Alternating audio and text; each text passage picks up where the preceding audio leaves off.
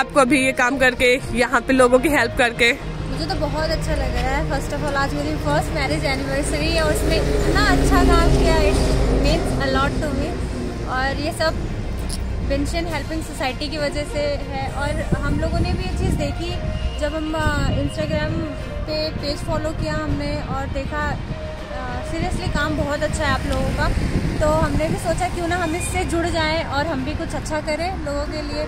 और इतने ठंड में रीवा का बेनसिन helping social welfare society Bhopal में बना गरीबों का सहारा। फुटपाथ में लेटे हुए बेसहारा लोगों को वितरण किया गया कंबल। नमस्कार, मैं हूँ शिवम कुशवाहा और आप देख रहे हैं द खबरदार न्यूज़। खबर मध्य प्रदेश के भोपाल से है। गरीबी की आग में तपकर, जब सोना निकलता है तो उसकी चमक समाज में किस कदर बिखरती है? इसकी बानगी हमको अक्सर देखने को मिलती है। अक्सर ऐसे परिवार जो बहुत गरीब होते हैं, जिनकी दो वक्त की रोटी का ठिकाना नहीं होता, इन परिवारों और उनके बच्चों को अगर किसी की थोड़ी भी मदद मिल जाए तो ये अपनी जीत और मेहनत से ऐसा मुकाम हासिल करते हैं कि सभी देख कर दंग रह जाते हैं। रीवा में भी Benson helping social welfare society भी ऐसे ही भले काम में जुटा है।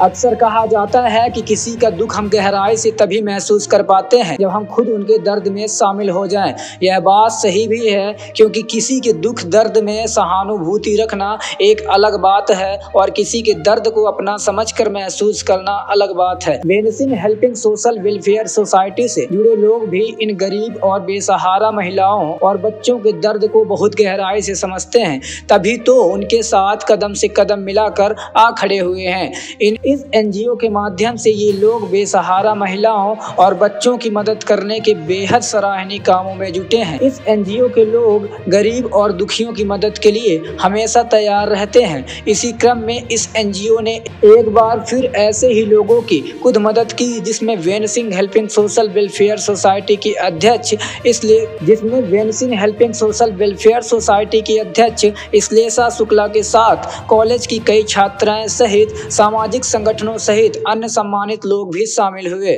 इसमें काम में पहुँची। Ben Singh helping society welfare की अध्यक्ष लेसा शुक्ला ने बताया कि ये रीवा जिला Ben Singh helping social welfare society, जो गरीब और बेसहारा महिलाओं, बच्चों के भोजन और पढ़ाई लिखाई का नेक काम करता है। इसी काम को आगे बढ़ाने के लिए हम लोग यहाँ इकट्ठा हुए हैं। इस संस्था के द्वारा ऐसे बच्चे जो पढ़ाई लिखाई में तेज हैं, लेकिन गरीबी के चलते नहीं पढ़ पा रहे हैं, उनको आर्थिक मदद भी दी जा रही है। भोपाल के लोगों ने एनजीओ का कार देखने के बाद कहा कि जो लोग इसे चला रहे हैं, ये उनका बहुत अच्छा प्रयास है। उम्मीद है कि और लोग भी इस तरह के नेक कामों से जुड़ेंगे।